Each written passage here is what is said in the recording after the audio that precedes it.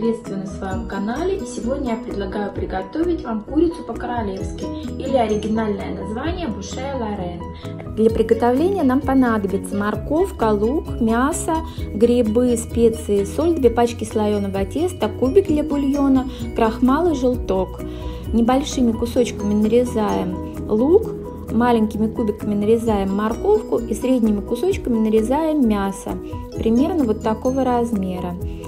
Затем ставим сковородку на огонь, наливаем немного растительного масла и добавляем лук и морковку для обжаривания. Затем добавляем мясо.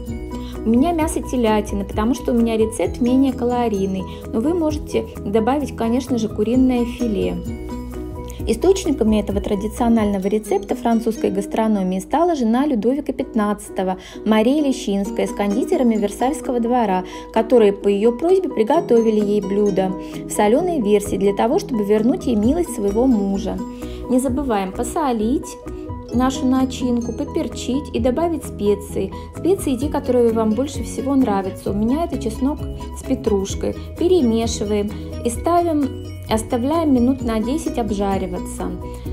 Затем добавляем грибы, у меня консервированные, вы можете добавить свежие грибы, заливаем кипятком миллилитров 500 горячей кипяченой воды и оставляем тушиться минут на 10-15. Затем приступаем к приготовлению нашей заправки. Для этого нам нужно 2 столовые ложки крахмала, у меня кукурузный и 2-3 половника нашего бульона.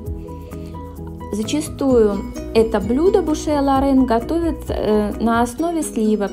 Но так как я уже говорила, у меня рецепт менее калорийный, я готовлю на основе бульона. В бульон добавляем кубик обязательно для аромата и нашу заправку. Заправка нам нужна для того, чтобы наша начинка загустела и не разваливалась. Убавляем огонь и оставляем на несколько минут до загустения. Вот такой консистенции должна получиться начинка. Затем приступаем к приготовлению наших чашечек из слоеного теста. Для этого нам нужно слоеное тесто, желток и 2 стакана разного диаметра. Стаканом или кружкой делаем вот такие круги. Затем стаканом или кружкой меньшего диаметра делаем круги с вырезанной серединкой. вот таким образом.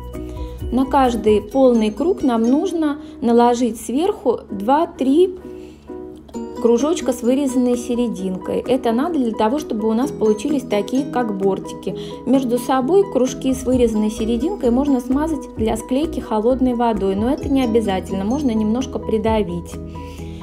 Оставшиеся серединки можно также выпечь, они будут нам служить как крышечкой. Не забываем наколоть вилкой донышко, а бортики смазать желтком. Оставшееся тесто я раскатала, и у меня получилось в общей сложности 9 корзиночек. Ставим их в духовку выпекаться при 180 градусов минут на 15-20 до зарумянивания.